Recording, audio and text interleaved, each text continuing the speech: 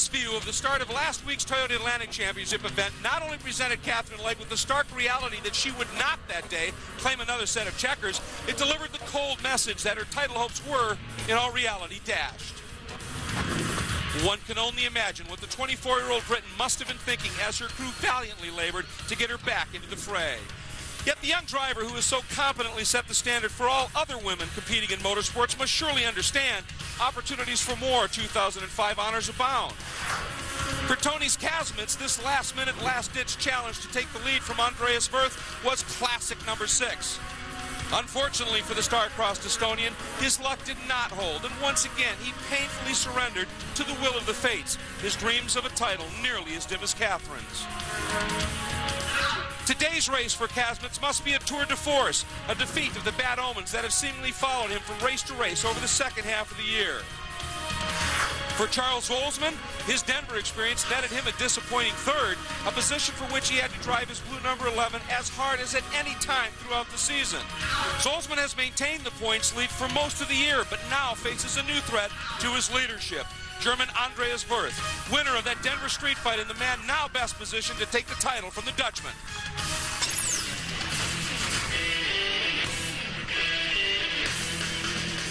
This was the scene in Denver as a joyful Andreas Wirth concluded a flag-to-flag total domination of the event. And with that win, he became the fifth driver to claim a victory in the 32nd season of this, the world's most prestigious open-wheel development series. Now, the series moves to the longest permanent road course in North America, Road America in Elkhart Lake, Wisconsin, for the next to last contest of the year. And we might, just might, mind you, see a champion crown today. If Zwolsman can gain enough points to leave with at least a 35-point advantage over second place, he will depart carrying the crown of champion. That possibility, though, got a bit more muddied, if you will, in morning warm-up. Watch this. Two of the fastest cars and points leader Zwolsman involved in this incident all three of the cars severely damaged. That's Andreas Wirth, who is physically, well, we're not sure about that scenario. He was transported and uh, is being observed. The cars have rolled out. We want to get you right to the starting lineup and give you the rundown as to what the deal is. Now, we're going to give you the lineup based on how they qualified. We'll update you on who will start and where they might start as we get there. I'm Greg Kramer along with Brian Till and Calvin Fish. Here is the grid. Tonis Kasemets and Andreas Wirth had the front row, and Kasemets has been blindingly quick. The second row, Dan DiLeo and Bobby Wilson, again involved in that incident. He was the third car. Then in third row, Katherine Legge, David Martinez. Row four, points leader Charles Zwolsman, struggling all weekend anyway, and Antoine Bessette. Row five, Al Unser III and Christopher Pry. Row six, Chris Menninga and Alan Sciuto, the Denver pole sitter. Row seven, Kyle Kelley and Daryl Liskey. Row eight, Chris Souliotis and Lee Atkins. And row nine is Bob Siska. Well, that's how they qualified. But the question is, Calvin Fish, after that morning warm-up, what are the developments? Well, there's certainly been frenzied activity down here in the paddock. Quick update. Bobby Wilson is out of the event. Too much damage to that car, couldn't be repaired. He's done. Charles Zwolsman, there was severe damage to the car. What they did, they scavenged the back end off his spare car. Now, because the original monocoque has taken place in the race today, he can keep his qualifying position. Now, for Andreas Wirth, it's a bit more complicated. Initially, they checked him out here at the track, sent him to Sheboygan Hospital for an MRI. They released him. He was on his way back. It was going to be a scramble to get here, but finally they called him and said, listen, there's a problem with this scat can. He will not, the CAT scan, he will not start the race here today. That's big developments, Brian. That is a huge development as far as the championship goes. Andreas Wirth basically now taken out of it. But let's look at this racetrack where we're going to compete today. High-speed circuit, a little over four miles. Aerodynamics really important here in one and especially in the kink, but some great passing zones as well for these Atlantic cars. Turn five, turn eight, and turn 12, Canada Corner. Great, great racetrack for these Atlantic machines, Greg. And we're going to give you some of the views through that section of track. And the Gale Company number two of Christopher Pry qualified 10th. He'll be carrying one of our onboards. Also, the gentleman who has been rocket quick here since he set foot on this track this weekend. The gentleman who qualified on pole, Tonis Kasemets, the flex over abrasive Swift. He is starting on the inside of the front row. And uh, I'll tell you, we're going to talk about just how quick he has been here. It has been impressive indeed. And uh, we anticipate having a third onboard camera as well from Al Unser III. He qualified in the ninth spot, the BOSpoker.net Swift, and he is number 10. So we'll be riding on board with him as well. The field now coming up toward turn 14, lights off in the pace car. So we expect this 11th round, the second to the last round of the championship, to get underway. For Tony Kasemets up front, as he has all weekend, he has one mission. He's got to win it. End of story. End of story. And he has been blazingly fast in every qualifying session and consistent as well. I watched him in qualifying yesterday. He put in several lap times that would have put him on the pole. Up the hill they come, looking for the green flag, and it flies. And David Martinez, a big move. We'll have to see. That looked a little early. Meanwhile, we hop on board, looking back at the pack. Everybody coming up, and here we go. And what a start by Katherine Legge as uh, she has gotten by and Kasemets has dropped back to the third spot. So Katherine Legge timed that beautifully. Kasemets now taking a look. They're punching up into three. Everybody wisely decides to settle. Oh! Contact. That is one of the new Arms Up Motorsports cars that has gone around. I don't know if that is Menninga or the, uh, uh, it is Chris Menninga. So he is parked at the side of the track. Meanwhile, already battling continuing, and this is that long run down into turn five. Great drafting area. And Kasemets goes for the move. Did he get it? Watching up front there. Kasemets now takes second away. It's like Kasemets 1-2 tremendous start by Katherine Legge. She timed it perfectly and used that draft, and the draft is going to be big in these Atlantic machines. The, the, drivers can see anywhere between 4 and 10 miles an hour down these long straightaways if they run in the, in the draft. Katherine Legge right now has been able to pull out three or four car links over Kasemets. But Kasemets just needs to be calm, cool, and collected. He knows he has the fastest car and has had the fastest car all weekend long. Interesting talking to Katherine earlier in the weekend. It was her first time here, and she said these straights are so long. You see the corners for so far coming up. You want to start turning in way too early. Said you really have to get your head into it to wait and be patient on your turn in. There she is, but look at Kasemets in attack mode already. You get the feeling Kasemets has no time for anybody here this weekend. He wants the lead. He wants to win. He wants to win big. Here he goes down the inside and Legge. What just wise move on her part. She's had enough contact. She's been involved. But look at her come back! and drops the tire. Well, I said she was smart being being uh, comfortable and casual. Not the case. Katherine Legge, ultra aggressive and proving it right there. And two very different approaches right now. Katherine Legge is out of the championship, but she wants to show what she's made of and what kind of a race car driver she is. Tõnis Kasemets, on the other hand, he is still in this championship, so he needs to be careful, but he also needs to win.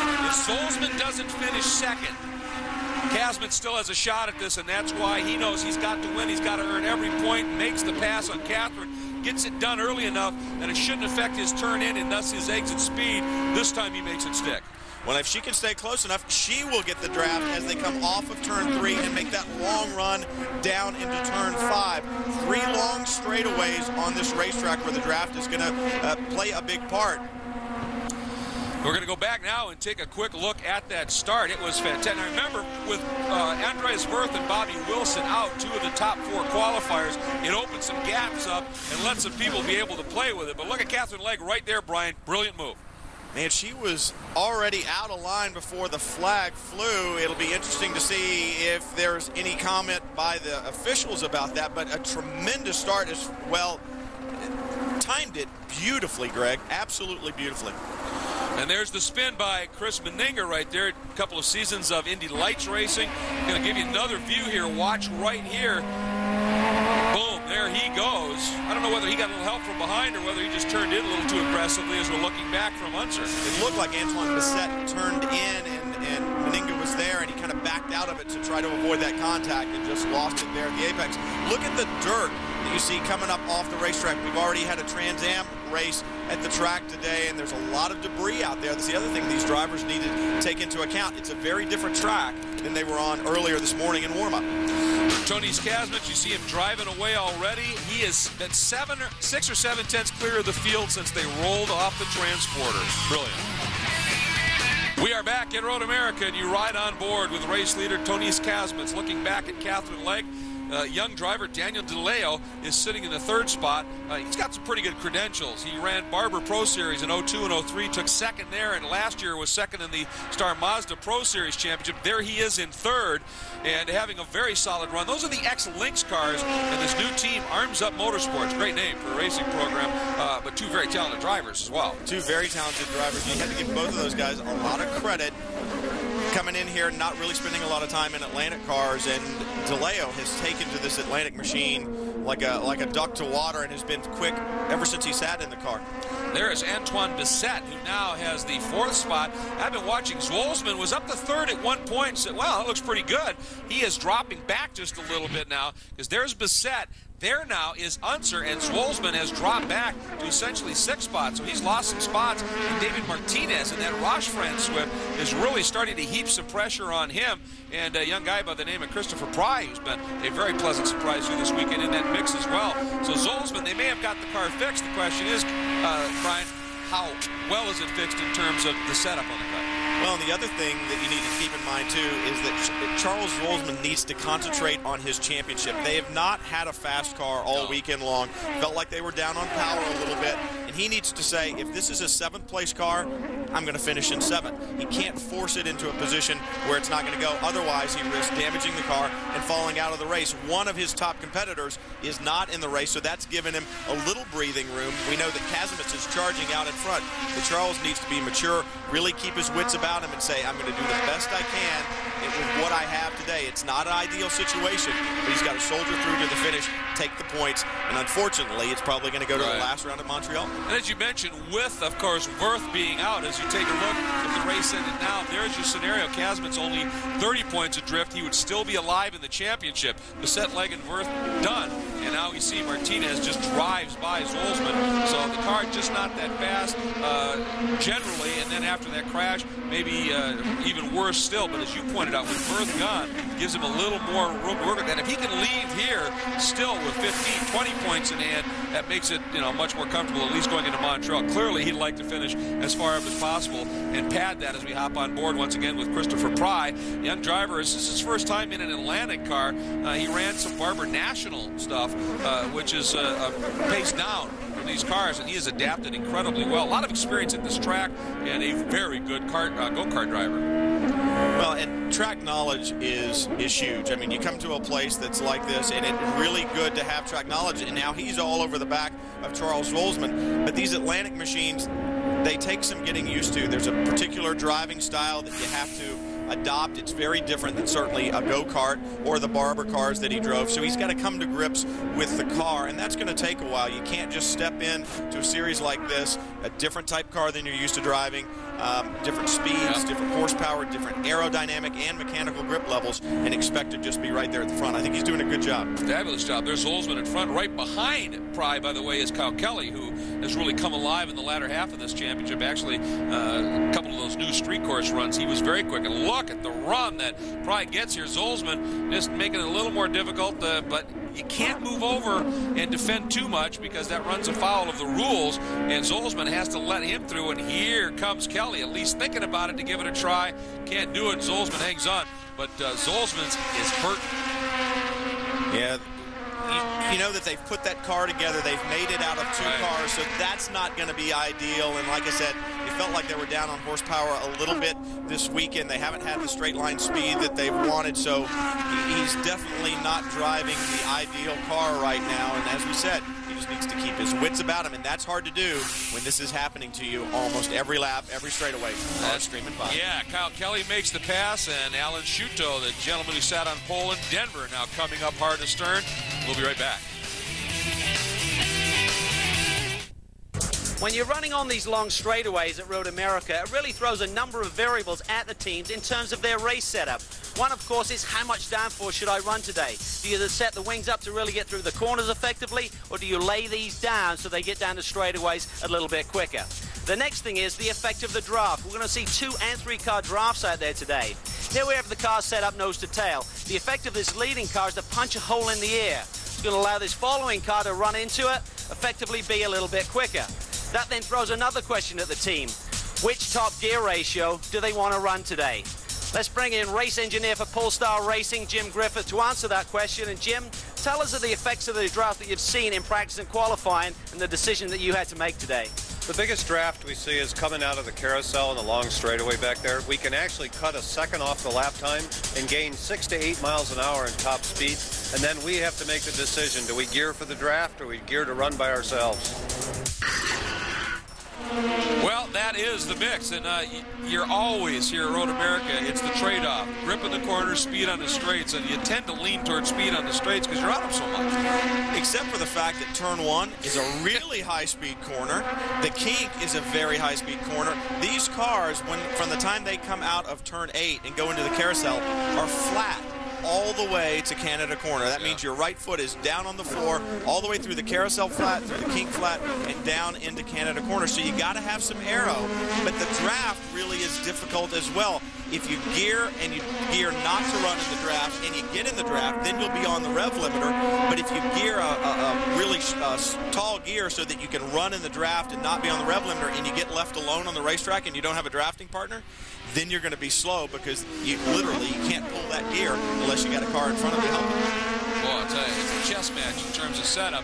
Antoine Bessette, the orange car right there, folks, is the man on the move. He has taken that unique auto design entry by Dan DiLeo and has moved up into the third spot. And he is really hooked up right now. In fact, running down Katherine Legge. Remember now, Bessette won at Toronto in the street fight. Uh, just a remarkable season, I think, for a guy who started off his career in sedans and rally cars, has done very little comparatively open wheel experience, and has adapted absolutely brilliantly. I mean, just look at him close up on Katherine under braking into Canada Corner. And those cars, night and day different than the high technology of one of these Toyota Atlantic machines. Ground effects, big slick tires, excellent braking capability. I mean, as you said, to take those skills and then apply, oh, slide coming out of 14. You don't want to do that. That ruins that momentum up that hill and down the long front straightaway. But to take those skills that you learn in those types of cars and then apply them here, he's adapted very, very well. And I think we should point out, you see the cars every once in a while as they go over the curbs, these little puffs of smoke. It's not actually anything from the engine or the like.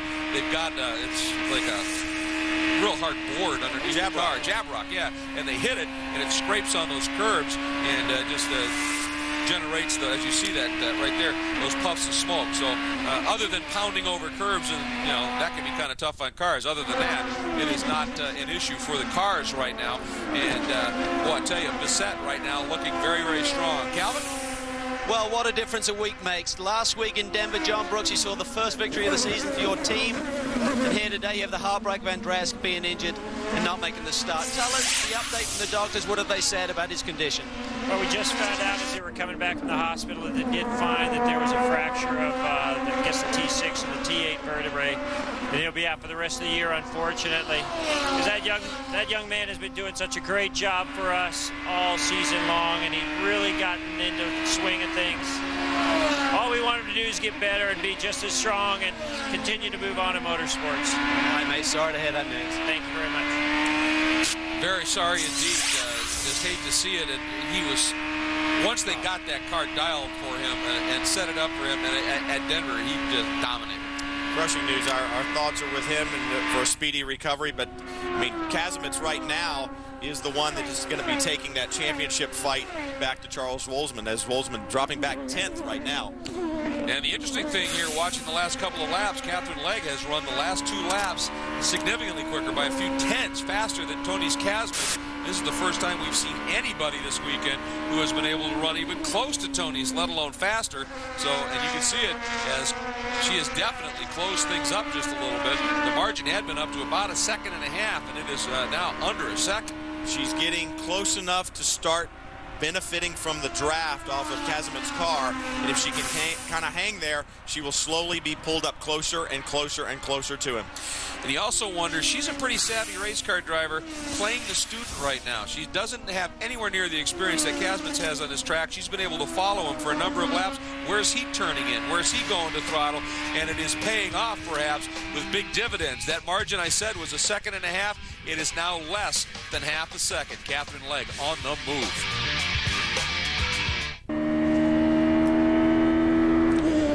Board once again with Christopher Pry running in the eighth spot and the Gale Company Swift and having a very good run. That is Charles Zwolsman, I believe, behind him, who has been relegated now to the ninth position. And uh, very impressive drive. Watch the onboard lap from the onboard and also the, uh, the camera cut of Christopher Pry when he set his qualifying time, when he really went for it on the lap. And we really weren't sure. We didn't have a lot of knowledge about him. It's like, is he going to throw it away one of these big cars? Is he going to be all over? He was extremely aggressive and spot on and cracked off a very solid lap. Watch the draft work here. Wow.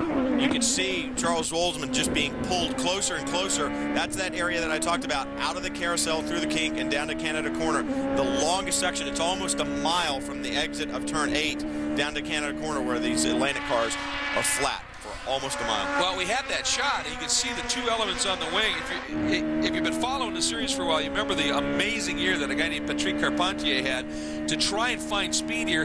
They took the entire top element and the two side fins off of the rear wing and ran that little flat thing. You can't do that now, but I mean, that was for good how, reason. How, yeah, just smart. By the way, I said that was Zwolsman, and that was 24, Kyle Kelley, who's gone by Zwolsman and is coming after him.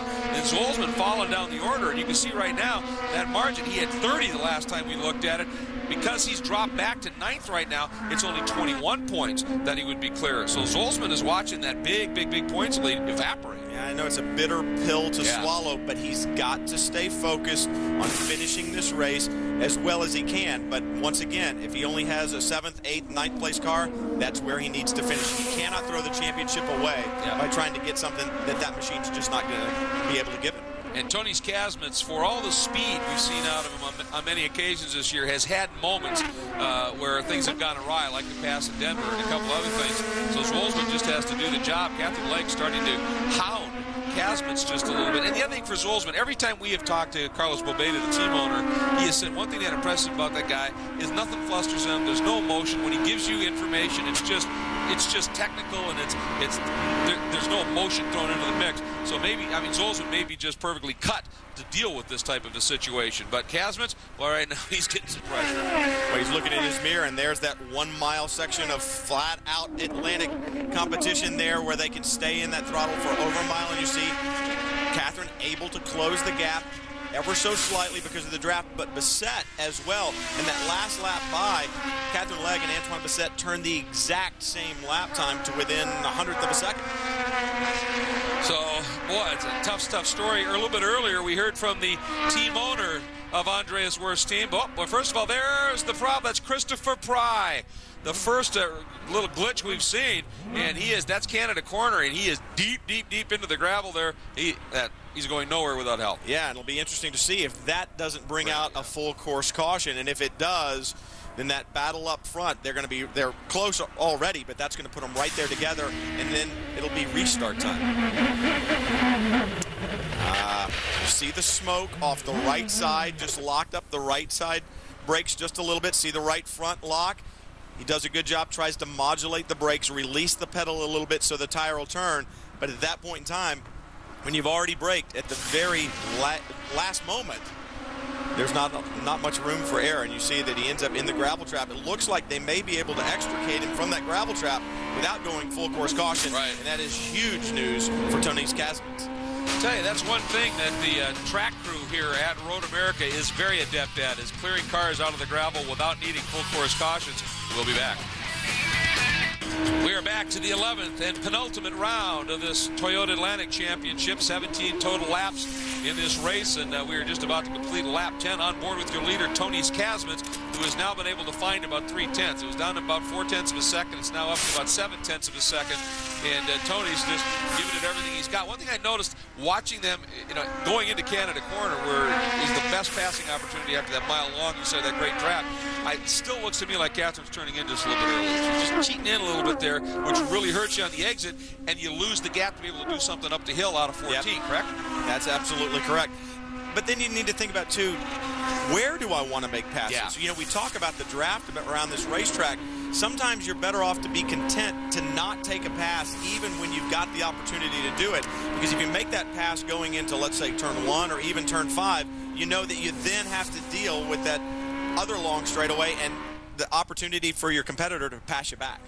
Yeah, absolutely. And as we said, uh, we, we heard earlier from Andreas Wirth's team owner, I think Andreas is with Calvin now. He is indeed, Greg. Very sad picture. We see his car here in pit lane. You're in your uniform. And Andreas, tell us two things. How are you feeling? And talk about the emotion of your season coming to an end prematurely.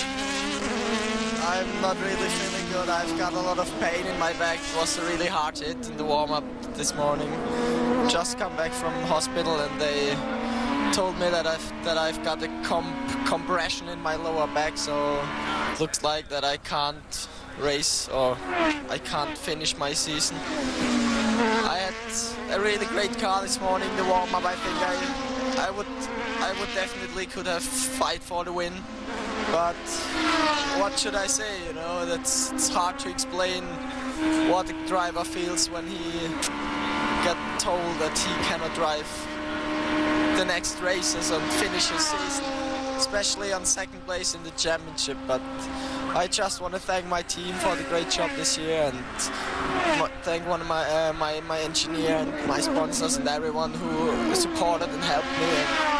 And I'm just trying now. Uh, I'm just looking now to get healthy again and test for next season, and that's it.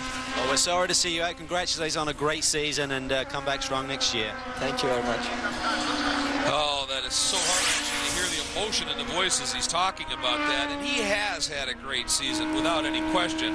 Uh, just been a fabulous year for him. And uh, to see it come to an end, the reigning Formula BMW champion, and uh, what a what a run he's had. You can see the, the emotion there. Seven podiums he was able to put together in 2005 and got that first big win for Brooks Associates Racing on the streets of Denver. It was a dominant performance, and when Kasemets came rocketing underneath, he just let him go, turned back underneath, a very savvy move, and drove back on through and uh, was able to get the win. So much promise, and now you just got to sit and watch. You see him in the driver's suit, uh, so hopeful. It's not happening. He so wants to be in the car, even in the pain that he's in. If they told him it was okay, I'm sure he'd get in and drive. You heard the emotion in his voice, the disappointment, disappointment on our part as well. Absolutely, and you get another look the beautiful lake here in Elkhart Lake, Wisconsin, Kasemets Legge Bessette.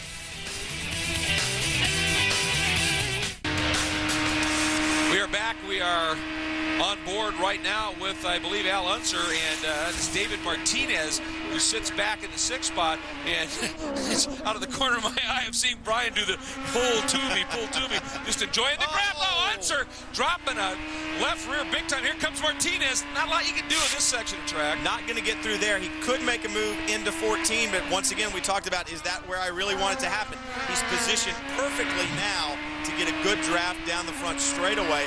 And, uh, you know, he needs to get up there right on the back of Allen, pressure him a little bit. He Right. knows he just made a mistake. Get him while he's still rattled. Coming out of 12, you get a run on somebody. Other corners, you may drop a tire and drive in the dirt. Problem there is you got this bridge. You just don't want to get off of it. But look at Martinez now, closing in.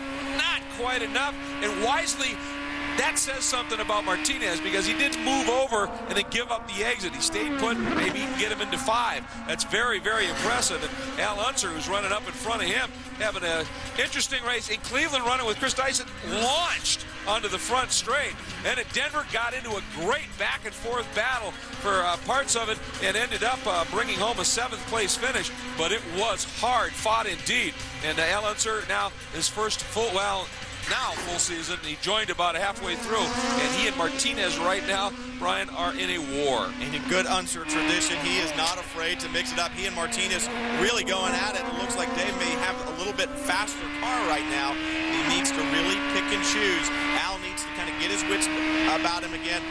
Forget the mistake that he made, put his head back down, and drive. Fifth place is where he was running with Martinez in sixth, and that is where they continue to run Kyle Kelley behind them in seventh. And uh, five laps to go now, so this one's winding down. The other thing that these young drivers need to do is they probably never run on a racetrack this long where the draft is this effective. And there's a there's an art to it. You've got to figure out how it works. When can I use it to my advantage?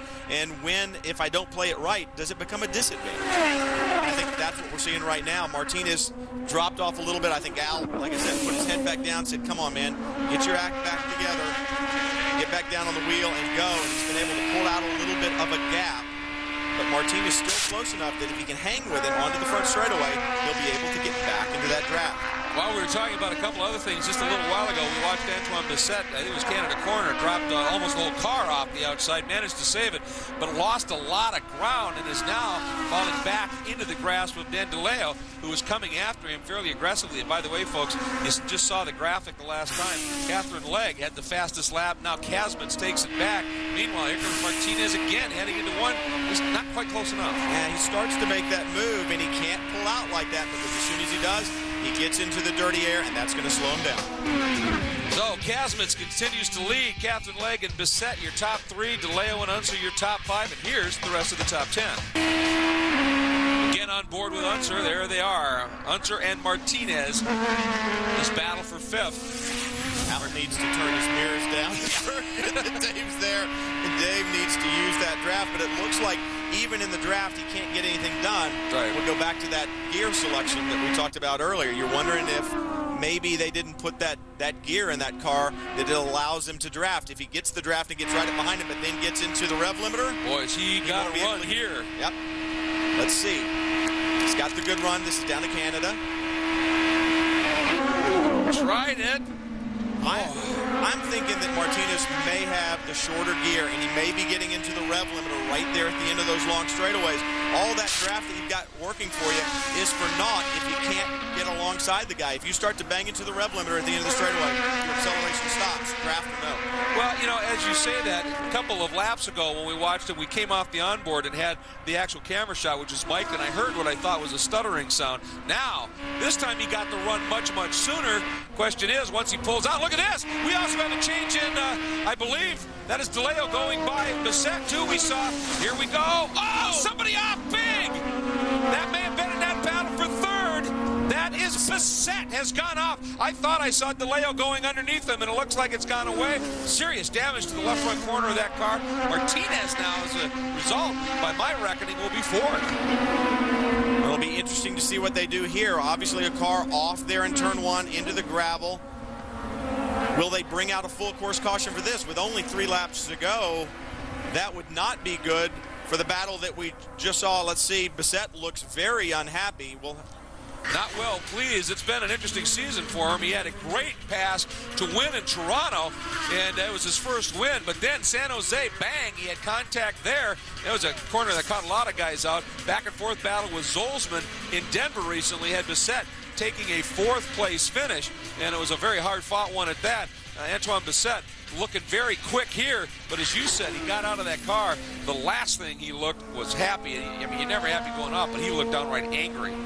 Yeah, we were looking at the battle there between Unser and Martinez, so we just saw it go out from view there and then saw the end results. So don't know really what happened, but he did not look happy at all. Kasemets able to put a lap car in between himself and Katherine Legge, and that's going to be big for him because that's going to hold Katherine up through that section. Calvin? Well, we expect Tõnis to really streak away from the field with the pace that he had in qualifying. His qualifying laps he did by himself.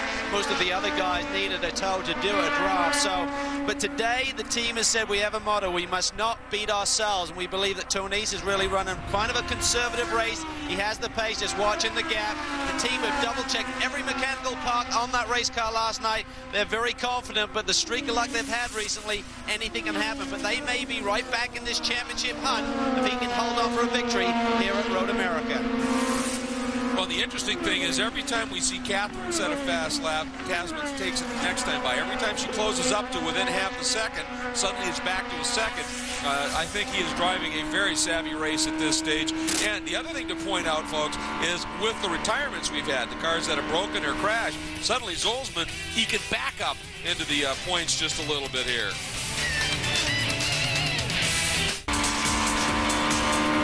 Up to the white flag next time, Brian. Looking at the back of Kasemets' car, you can see Katherine Legge in second, but she is now well clear of the draft. So she's not going to get that advantage if she was going to have any hope at all of catching Tõnis. She needed to be closer than that as they come around to start this last lap because she doesn't have the advantage of the draft right now. And she's certainly not going to catch him unless he makes a mistake. Well, Tõnis knows this track. He now calls it. He's from Estonia originally, but now he lives in Mundelein, Illinois. He calls this his home track. He knows it. He has won and run so many races here, and he was. He said, "I'm going home." And, you know, finally, after all these tracks that he doesn't know and he's had problems on, this is comfortable territory for him, and uh, it is showing here in spades. And we expect to see that white flag fly as he comes up over the top of the hill. This time by white flag. We are on our final lap. And Zwolsman, Calvin, I said it, with all of the crashes that we've seen, Zwolsman suddenly eking back into the points. Well, he's certainly looking a lot better now than he was a few laps ago, but it hasn't been a smooth weekend for Charles. They really struggled with straight line speed, scratching the heads, changed the motor. That didn't fix anything. Working with the downforce setups, really started to trim the car out. Then they started to go slower on the lap time, so he's actually running quite a bit of downforce in the car. But here today, I think that crash in the warm-up, I just spoke to Carlos Bebeda. He said the car is very loose. We didn't really have a time to go through everything and fine-tune and fine-check everything on the setup pad, so Charles is just trying to hang on and go to Montreal with a good points lead. Well, Brian, I would say it's that kind of a performance from a driver that ultimately builds the character of a champion. Is uh, the adversity, you do what you can and what you have to do. Very intelligent and measured approach that both Charles and the entire team taking. That's what they need to do to win a championship. Take what we can do, do our best job today, and then go to the final round. Kasemets's doing a fantastic job today. As you pointed out, he was fast from the time they unloaded off the truck. The other person that you got to give big kudos to, Katherine Legge. Been very, very quick throughout the weekend, but she has done a great job. We didn't think anybody had anything for Tõnis Kasemets. She's been the only one that could apply the pressure. Well, if it ends like this, which it well might, as we're halfway through our final lap, that lead is 25 points. So Kasemets has a sniff of the championship going into the final round, and that does put some pressure on Zol. I mean, you know, you, you can't crash, you can't break. You've got to be on your game. All Kasemets has to do is just drive to the front and try to win. That's a gimme for him in terms of the mission. Zwolsman might be feeling a little bit of heat, and there's Katherine Legge, who is not in the championship hunt. But boy, I tell you what, an unbelievable season uh, for her rookie year in this championship with three wins already. But here we go, Kasemets one last time out of turn 14 onto the straight, and he's been waiting for this one a long, long time. There's the team. They're looking. They're watching. He is whistling up the hill, and for Tõnis Kasemets, there is the fist pump over to the wall by the team right there. He has done it. He has won, and he has put himself back into the championship chase. Not easy, mind you, but he's there. He's got a long way to go still, but at least he is back in the hunt, and he's shown what he what we knew all season long, Yeah. but what bad luck has taken away from him a little bit over the last few rounds, and that is that he is a winner. Third win, as a matter of fact, this season and very been very quick. Let's check in with Calvin Fish. Well, down here with the Jubilant crew, Alan O'Leary, the engineer. What a way to come back after the disappointment in the last couple of rounds. Just awesome, Calvin. I mean, he just did a stellar job all weekend. This is home for us, and I haven't looked where Zwolsman ended up, but I think we're still mathematically in with a shot at the championship, so it just doesn't get any better than this, buddy. You're right, mate. Great emotion down here. The championship will go down to the wire in Montreal, Greg. And you talked about him being the engineer, but I went over to talk to Tony He's three, four times in his paddock, and every time he was on his knees working on the engine, changing this. He is very involved in the mechanical end of this team as well, which makes it all the more sweet. We'll talk to him when we come back. Well, Tõnis Kasemets visits Victory Lane for the third time this year, but this one has to be sweet on home turf.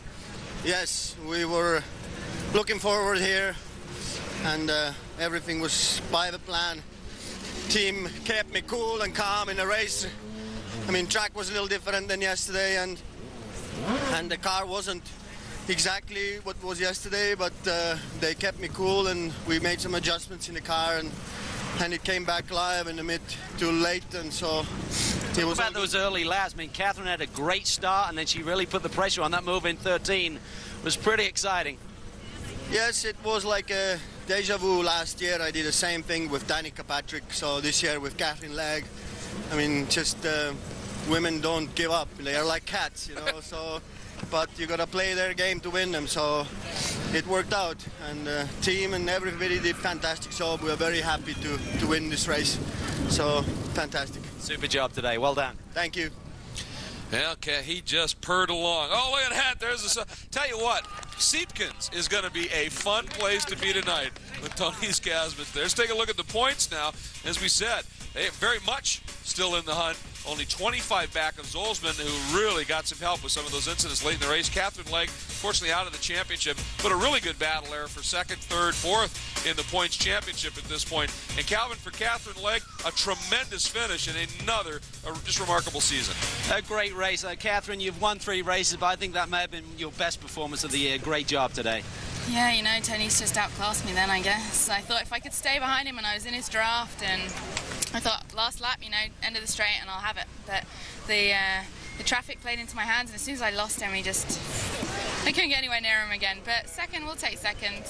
We'll take second. Well done. Superb job today. Thanks very much. Well, second at a brand new track to her for somebody who knows it like Kasemets and the run she put in, absolutely you take that. Let's take a look now at the uh, results from the race at Kasemets with the win. Legge, Dan DiLeo, a great comeback drive. He was there, went back, came back. Martinez and Unser, that was an exceptionally exciting battle. Uh, really fun observing that one. Kyle Kelley right there in sixth. Zwolsman, there's that seventh. And for Sciuto, you kind of wonder. Pole in Denver, then uh, faded just a little bit here. And for Christopher Pry, I think he showed he's going to be somebody to watch, even though he had that off uh, about mid-race. He was very, very impressive indeed. Speaking of Zwolsman and being able to close it back up again, Calvin, he's with you.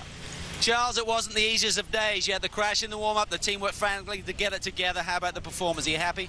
Yeah, I'm happy because uh, the team worked fantastically, and uh, we just had it a few minutes before the start, and obviously you get some problems with that. Uh, so we had a lot of oversteer today, and on, on, a track like this, you don't want that. But I'm very happy to uh, finish the race where I did. Well, he hung in there well, Greg. He'll go with the lead to Montreal in one week's time and uh, he's still got a pretty good pad, so things are looking okay. And you, you got to give credit to the team. Uh, that team, everybody was lined up, and as he said, suddenly you saw the tug in that car coming up, trying to get to the pit position. It was that close. Working to the bitter end, and they've got the right mental attitude. He's happy with that seventh place finish. He's happy with those points. He'll he'll fight for that championship when he gets to Montreal. Yep, Condor Motorsports. Uh, boy, what a job they did. Let's get back down to Calvin. Well, the final podium finish at Dan DiLeo. Dan, you haven't driven a car since last year. Way to come back, mate. Great job. Thank you very much, Calvin. I mean, it's great to be back in the car, first of all. Uh, you know, I'm really thankful for the opportunity Arms Up Motorsports and Jose Paredes gave to me. I mean, uh, I got a phone call two weeks ago, and I guess, uh, you know, it's brought us to this point here. You know, it's great to be back in the car and, more importantly, on the podium. With the prize money, any chance we'll see you in Montreal next week? I'm, I'm working hard at it. You know, it'd be great to uh, to race in Canada in front of the home fans, and uh, you could uh, better believe that I'll be doing whatever I can before Montreal to get it done. You've been competitive in all of the junior formula, and now you make your debut in an Atlantic car. What was the difference? What's it like jumping up from a Mazda car into this? You know what? It's uh, it's one of these things that we've been, you know, as drivers, we've been doing this for so long that it was just, uh, you know, the next logical step.